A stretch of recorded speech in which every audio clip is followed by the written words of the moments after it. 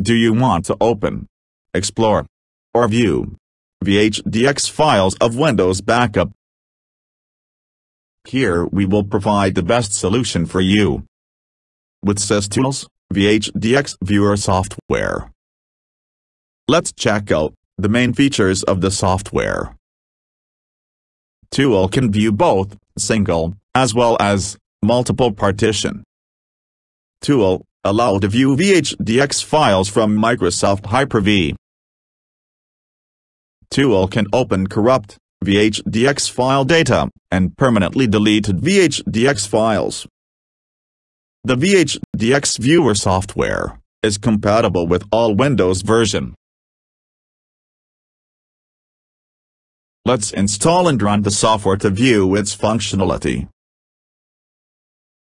Tool comes with the user-friendly interface. From top left corner of the software screen, you can see the Open button. To open VHDX file, click the button.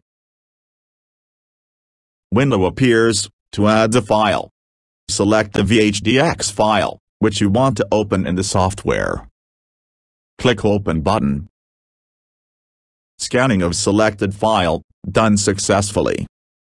Click OK. From the left side, you can see the multiple partitions of selected file. Select any partition to view its data. Select any folder. On the right side, you can see the selected folder data, like image, PPT, and MP4 files etc. Now, let's uncollapse the folder. You can view the entire folder hierarchy. Select any folder. From the right side, you can see the deleted data, shown in red color.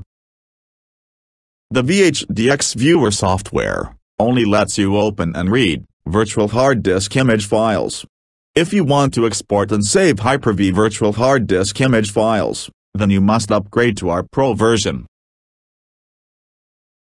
And that's it. Hope you enjoyed the video.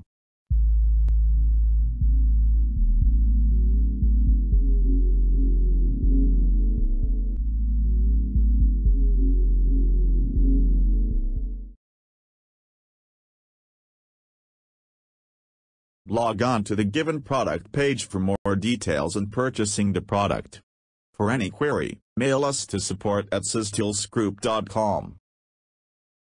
Thank you watching.